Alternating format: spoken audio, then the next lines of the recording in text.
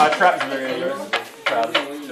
I got the biggest traps in the school. But yesterday my joint was like. Camera bigger than yours. No, they're they're not. not. They're not. Oh shit. They're really not.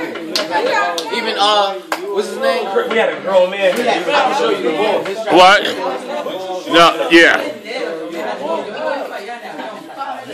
Bro, my joint is like. It's, I started off like this, like plain orange. I do my. Now my joint. Yo, that's my Nick. Look. It's never like that. I've been in your hair for like, I know My joint I is keep up on there. doing this. His strap's not bigger than mine. Yeah, they You up can't even get him up. Well, let me see. Come on.